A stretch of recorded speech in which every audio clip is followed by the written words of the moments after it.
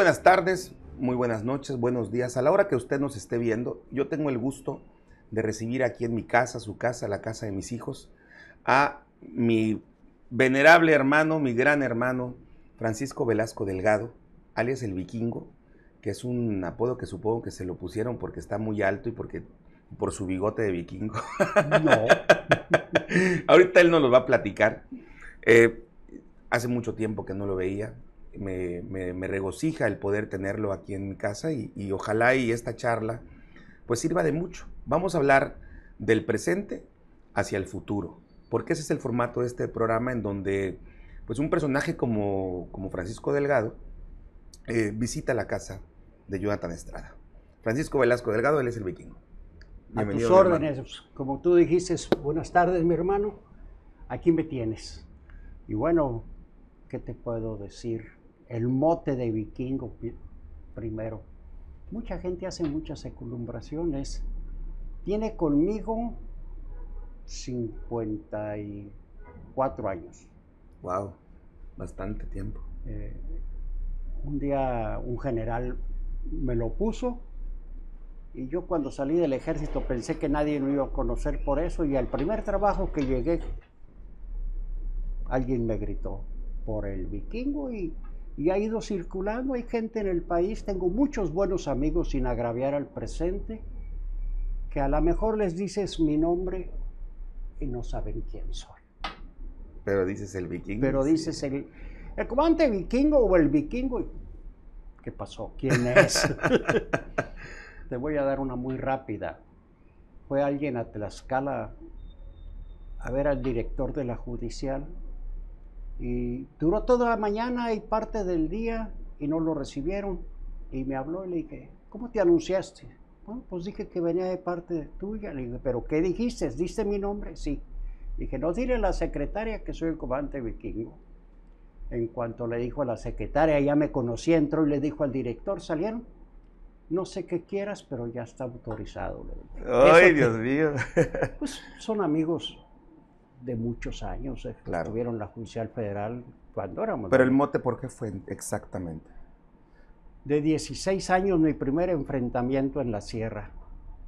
Entonces, me acuerdo muy bien, un sargento le dijo a un general, es que él pensó que traía un escudo y un hacha como vikingo. Como vikingo, y lo que pasa es que así usé el arma, y entonces aquel decía que era un escudo y un hacha, y se me quedó.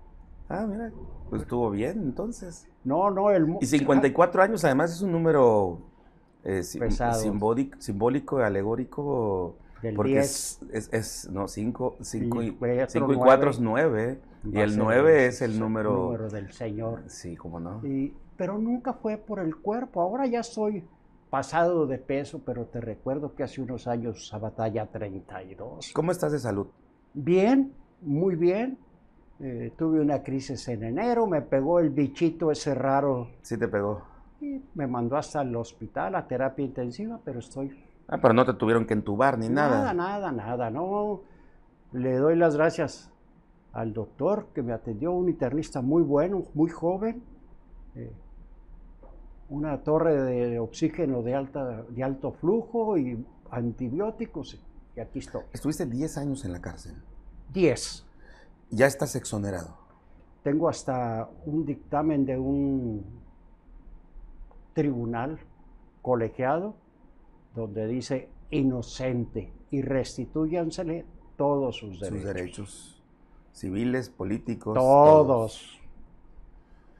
Me comí 10 años pues aparentemente gratis, pero la verdad es que pues mi mote no, no lo podía dejar. Y lo que hice fue alguien que pondría a temblar a mí, ¿no?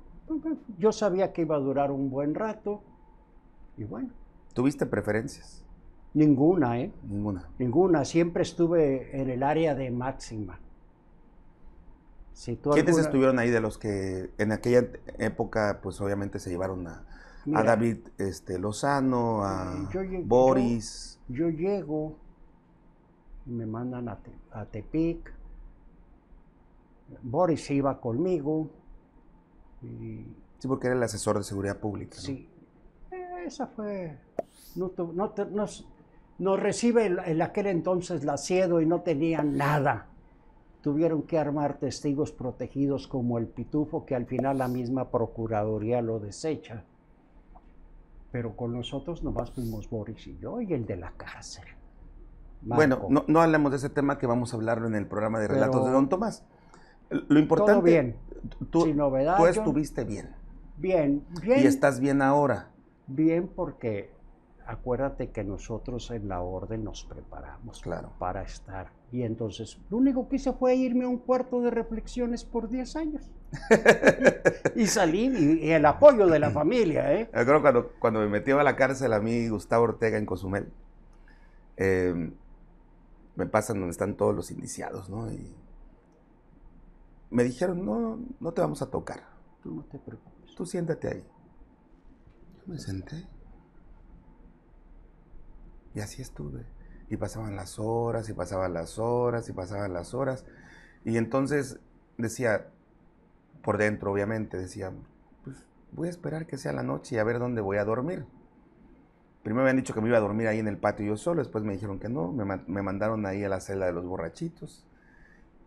Y al día siguiente, pues como si nada. Sí, el- los primeros, las primeras horas son desesperantes, pero Sí, pero pues cuando ya sabes de qué se trata y en mi caso tantos años en el medio, ni modo que no supiera cómo Claro. es, bueno, pues, prepararme mentalmente, dije, esto va para largo, sea, entonces fue lo único que hice. Oye, y tengo entendido que denunciaste, demandaste o, o- o solamente solicitaste una restitución a seguridad pública en Benito Juárez, en Cancún. Mira, le pedí ser reinstalado porque dice que em, goce de mis derechos. Sí, así le pasó a David Lozano. David Lozano sale de la cárcel, el, el abogado que era Ministerio Público, eh, y él pide su restitución y lo restituyen. Lamentablemente. De hecho, creo aquí que no. Rocha también. Sí, lamentablemente aquí no. Este, no sé, eso me, me obliga a presentar una demanda. Claro. ¿ok? El próximo 25 de noviembre vamos a saber cómo, ¿Qué cómo nos va a ir. No, si si la esto ley te asiste, Pues me asiste porque me dieron de baja, eh, cuando lo que debieron hacer era suspenderme. claro.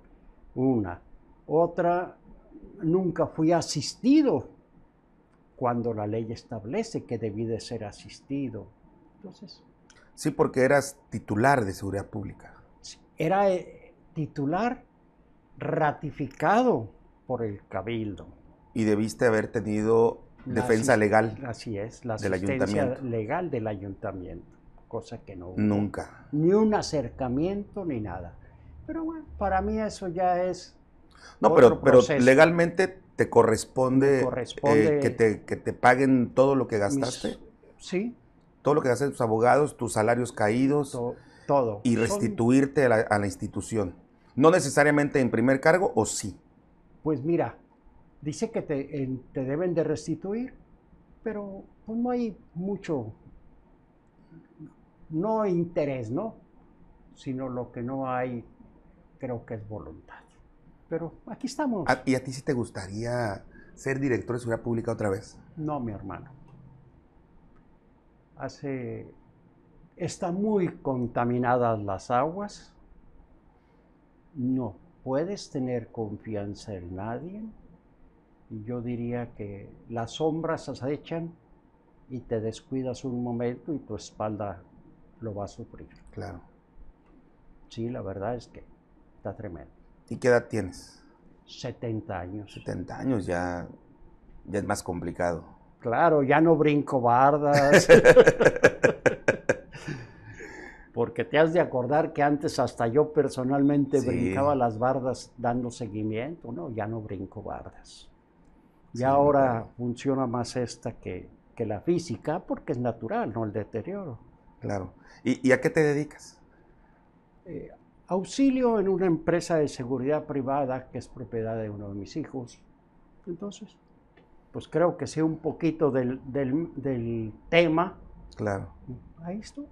No, mucho. Porque además, desde hace muchos años tenías tú tu agencia de seguridad privada, ¿no? Sí, yo dejé mi, agencia y, bueno, pues uno de mis hijos armó y, ahí estoy.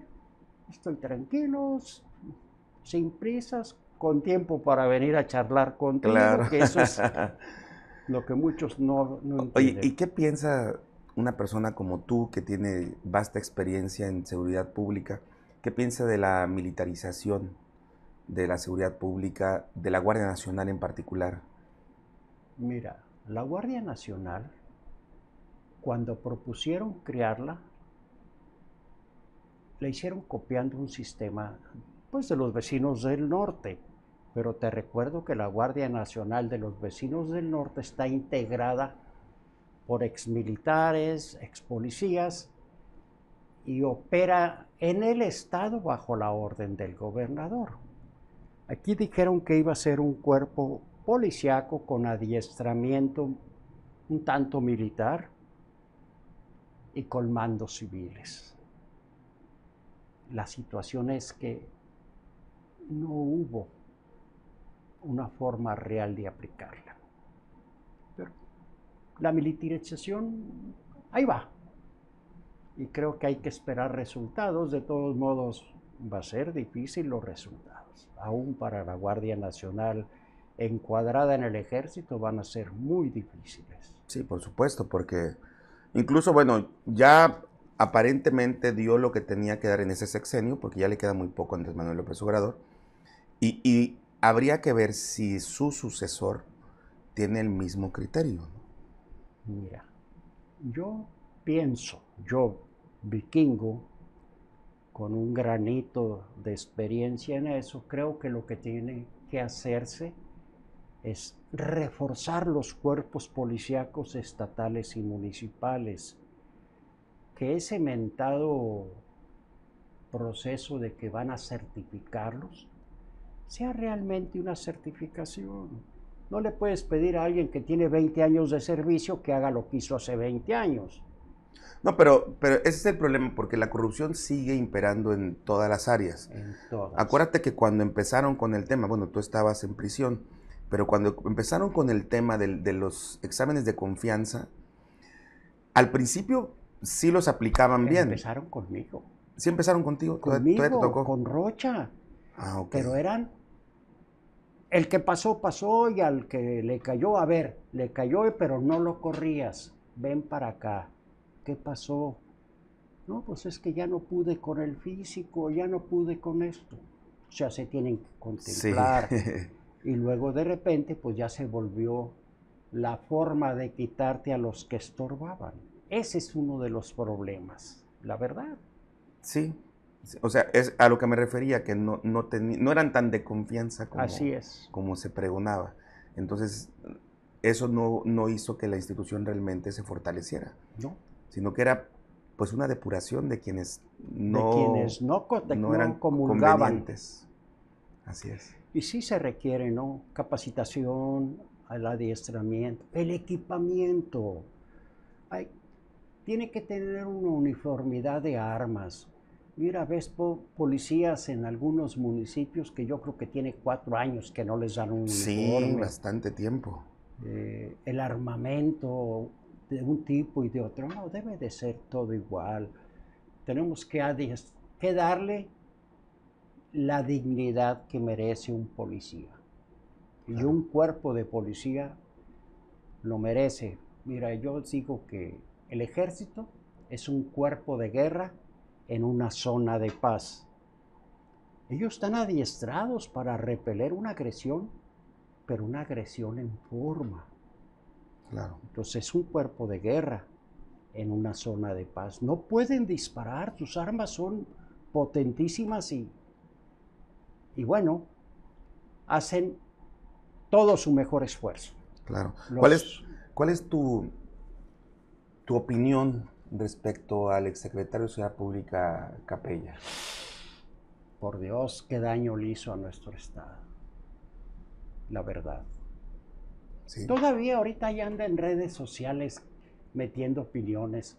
Debería tener vergüenza de haber venido a dañar un estado que, era- que es un paraíso y que lo dejó muy dañado en la seguridad, la verdad. Y le puedo debatir a quien quiera y a él mismo que su trabajo no merece ni nombrarlo. Y a Ollarvide, el actual secretario. Mira, hay que darle el tiempo, Ya estuvo en Benito Juárez. sí, nada más que te recuerdo que no es lo mismo ser el uno que tener quien le esté dando directivas. Sí, porque él pertenecía a esa, Estructura a de esa mando estructura único. de mando único, claro. Entonces él no podía, Ollarvide, actuar porque lo tenían maniatado. Es más, tan maniatado que la policía de Quintana Roo recibía los, los reportes y, su- y ellos, la municipal, al último, el patito feo. Entonces hay que darle el tiempo, el beneficio de la duda. Por lo pronto yo veo que sus nombramientos están acordes con lo que dijo la gobernadora, que la policía sería de quintanarruenses. Nombraron a un subsecretario A que tiene, es nacido de la escuela de policía. Sí. Eh, aquellos primeros alumnos que me tocó recibir hace muchos años cuando nuestro gobernador Mario Villanueva tenía esta escuela muy bien, con mucha proyección, con mucha idea del futuro. que es donde está actualmente el, el C4, en Chetumal, ¿no?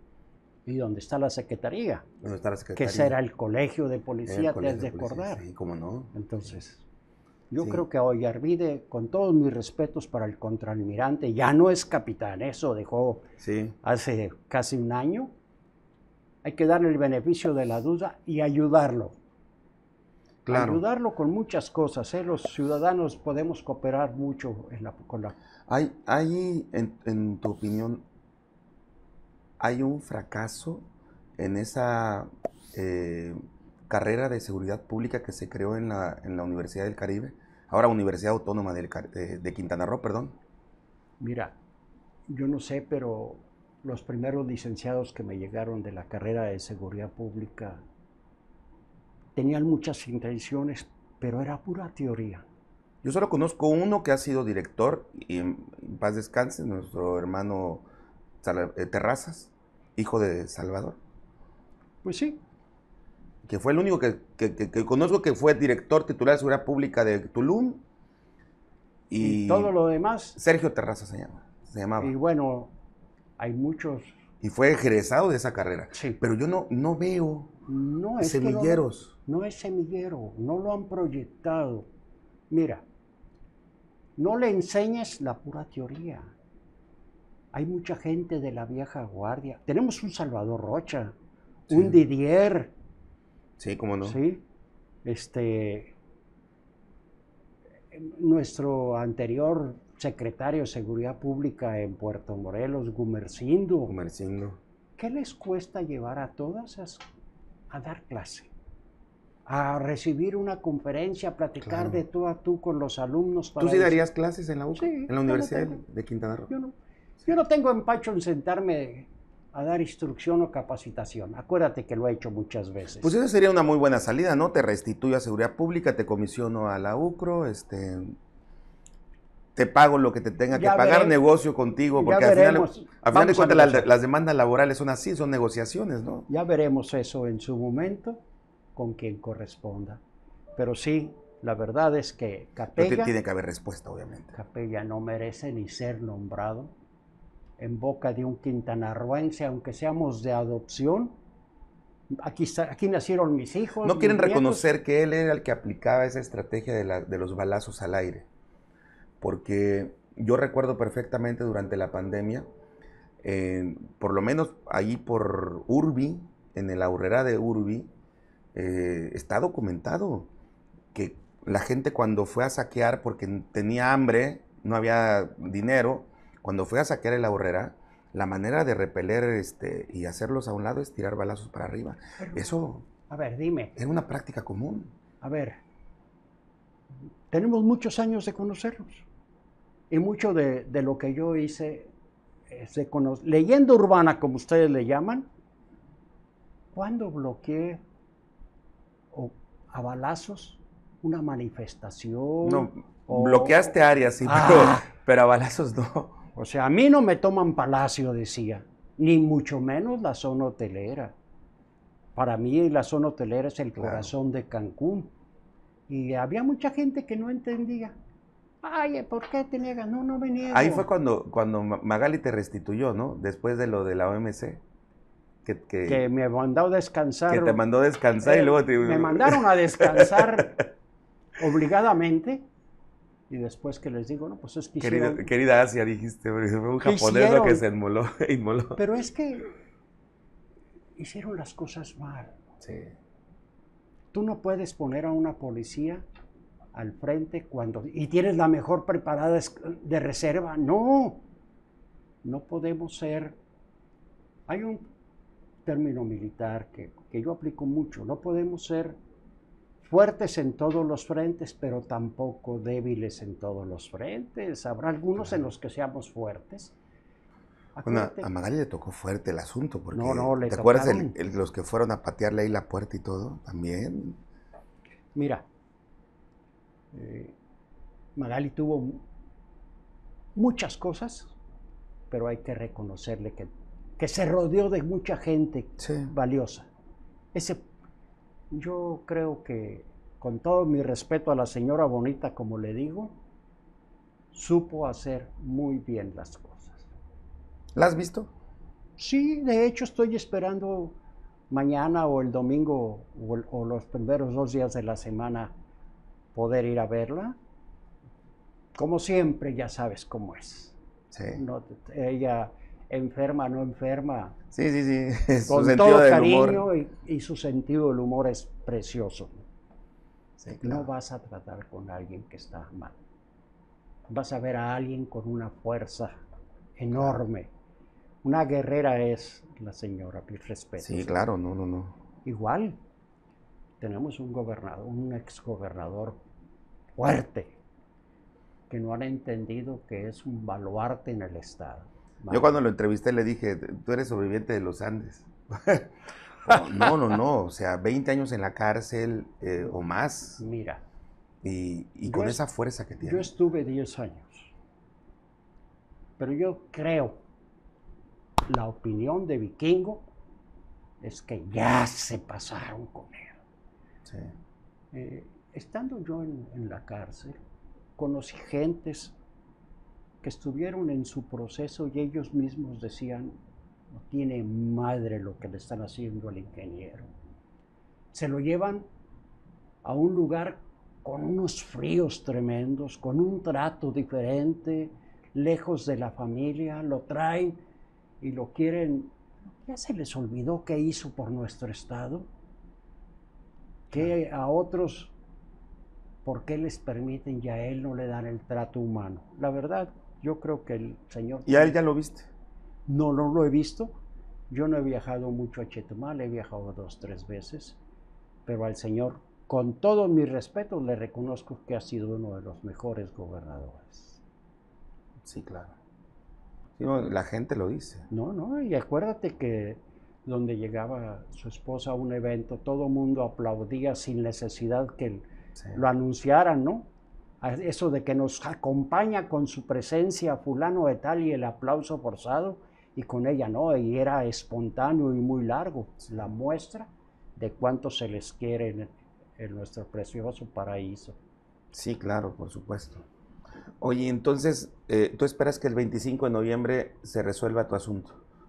¿O bueno, no, no creo que se resuelva en ese momento, pero ya va a haber mejor. ¿Has buscado a la gobernadora, Amara Lezama?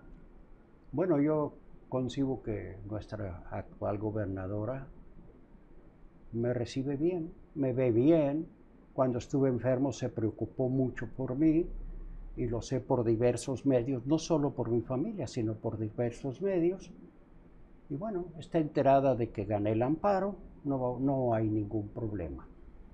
Pues yo te deseo que te vaya muy bien con, este asunto, ¿no? Porque... Mira, mientras el de allá arriba nos permita vivir, quiere decir que nos permite continuar. Entonces, yo pienso que ese, eso va a estar bien. ¿Qué espero?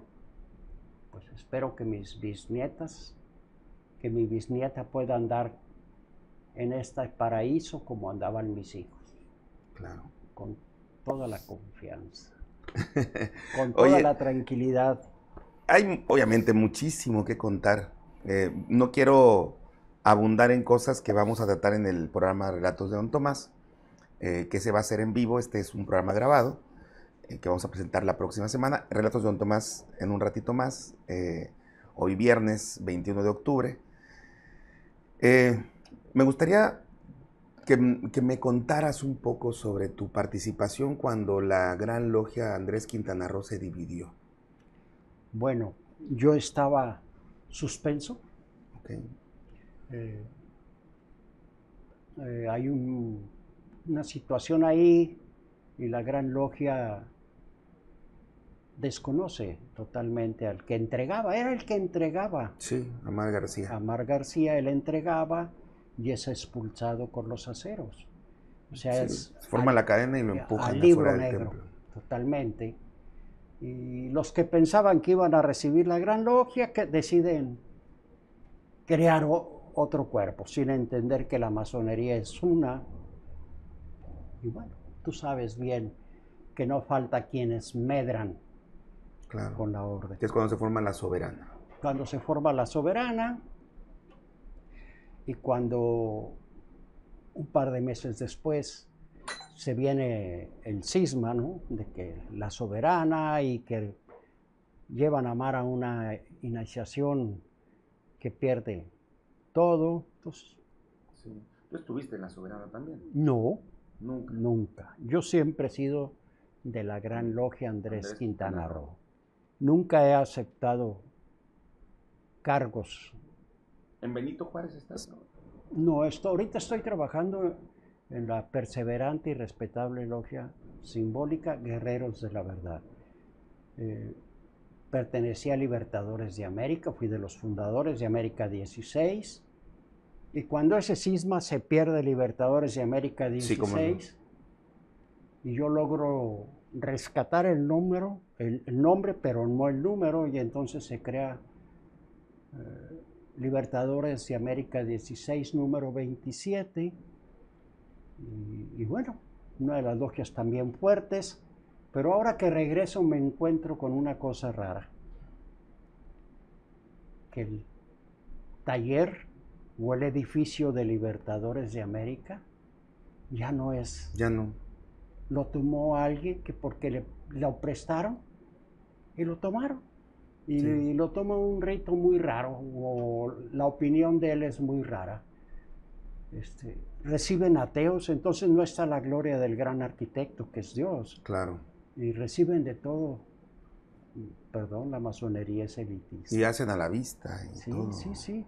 O sea, con nosotros no importa tu caudal económico.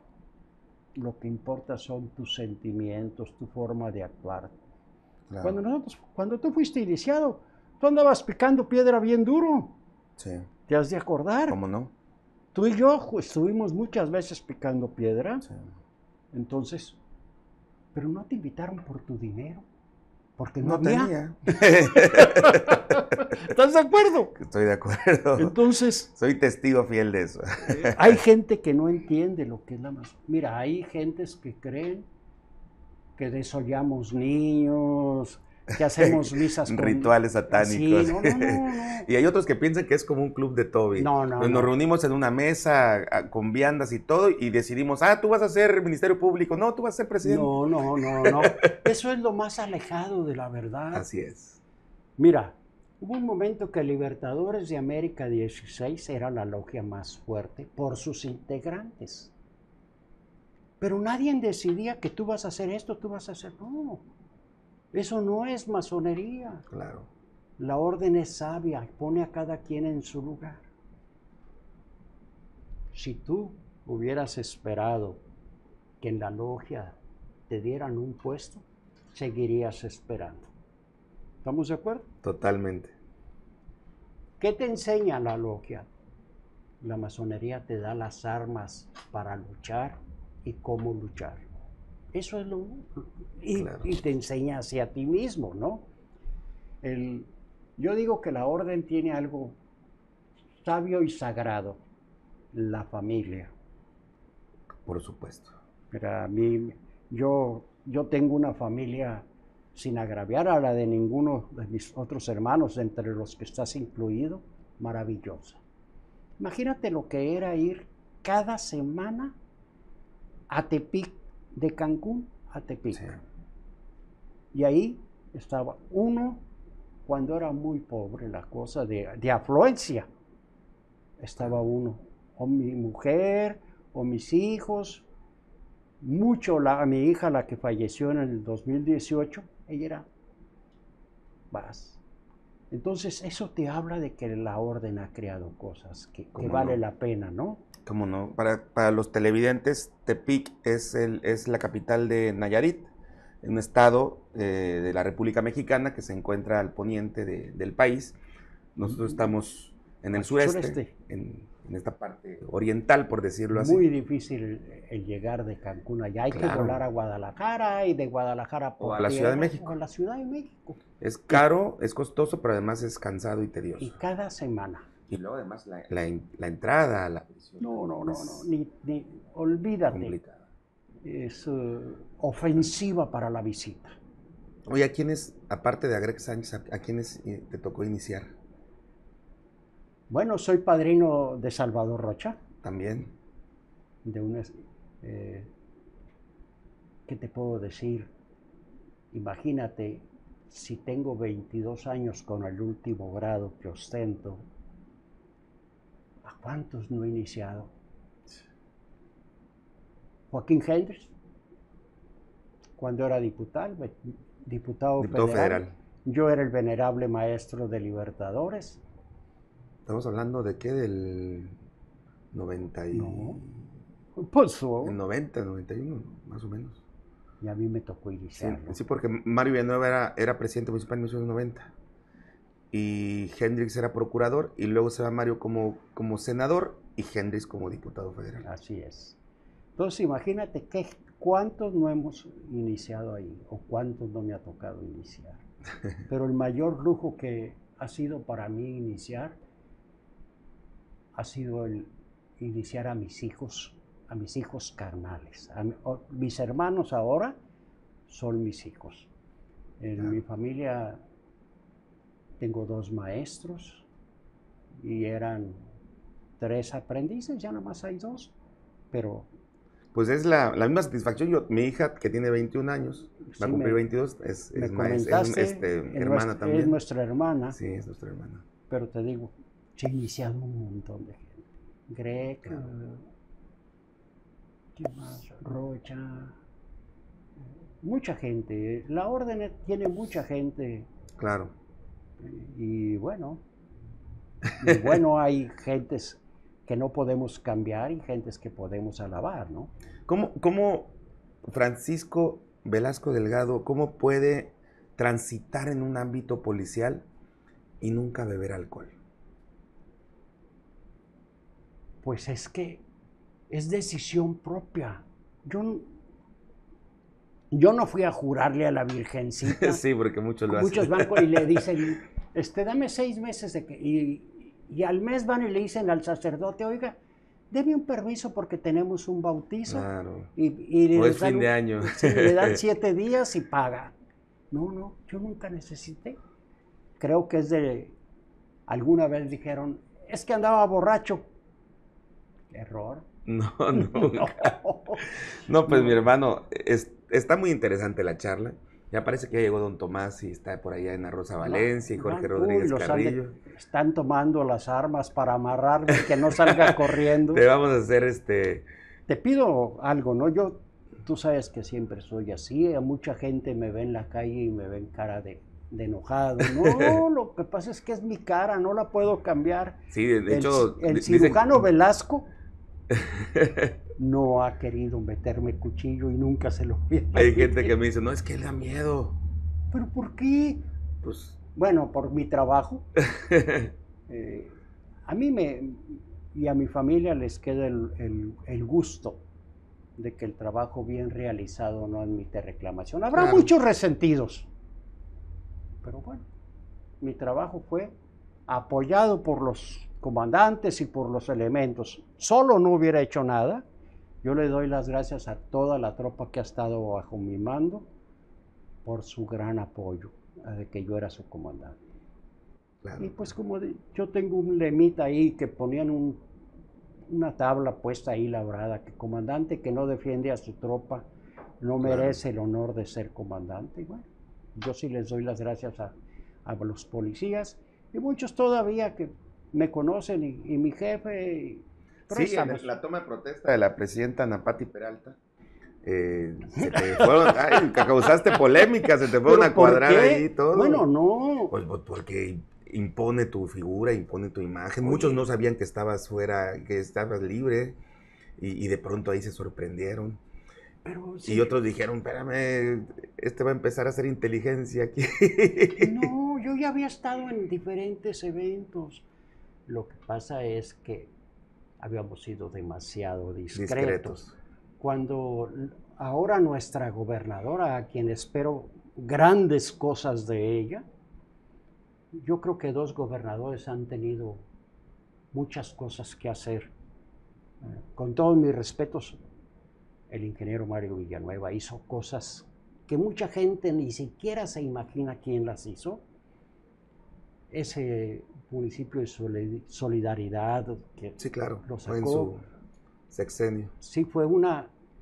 Y las carreteras, que cuántas vidas no han salvado todo lo que hizo y mucha gente no lo sabe.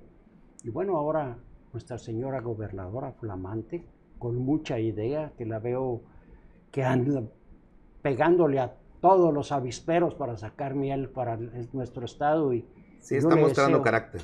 Y yo le deseo lo mejor para todos nosotros que ella lo haga, ¿no? Y bueno, pues, ¿qué te puedo decir?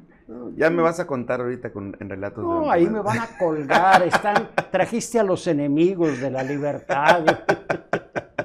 Hermano, es tu casa. Igualmente, a la Nos vemos. Cuantas veces gustes, vengo y me siento. Tienes que traer a tu, a tu esposa para que comamos. ¿Cómo está ella de salud? Mira, fue un susto. Y un susto, ¿no? Hace poco. No, pero el susto fue el doctor dijo es probablemente un infarto y era una cuestión, ella está operada de alcalacia en el esófago y entonces era otra cosa. Afortunados, ¿no? Sí, por supuesto, afortunadamente fue una falsa alarma. Así es. Pues esto fue Francisco Velasco Delgado, Alex el Vikingo, visita la casa de Jonathan Estrada. Nos vemos pronto.